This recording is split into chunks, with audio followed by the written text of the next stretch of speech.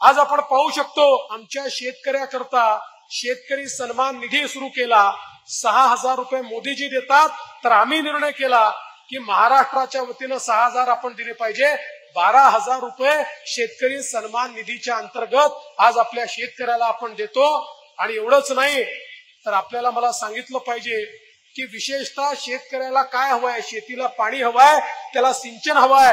मोदीजींनी आपल्या विदर्भातल्या सिंचनाच्या प्रकल्पांकरता बळीराजा योजनेच्या अंतर्गत सव्वीस हजार कोटी रुपये दिले ज्यामुळे आज विदर्भातल्या सगळ्या योजना पूर्ण होत आहेत आणि आमच्या शेतकऱ्यांच्या शेतीला पाणी मिळत आहे.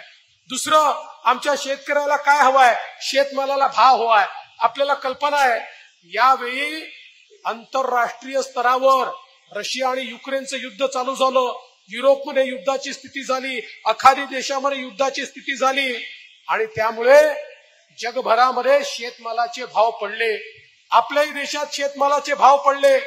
कापूस आणि सोयाबीनचा जो शेतकरी आहे याच्यावर संकट आलं.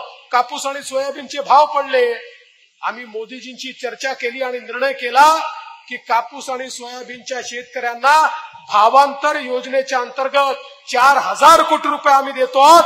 आता या ठिकाणी आचारसंहिता चालली आहे. आचारसंहिता संपल्यानंतर कापूस आणि सोयाबीन उत्पादक शेतकऱ्याच्या खात्यामध्ये चार हजार कोटी रुपये सरकारच्या वतीनं त्या ठिकाणी जमा होतील आणि त्यांना देखील भावांतर योजनेच्या अंतर्गत मदत करण्याचं काम आपण या ठिकाणी करतोय.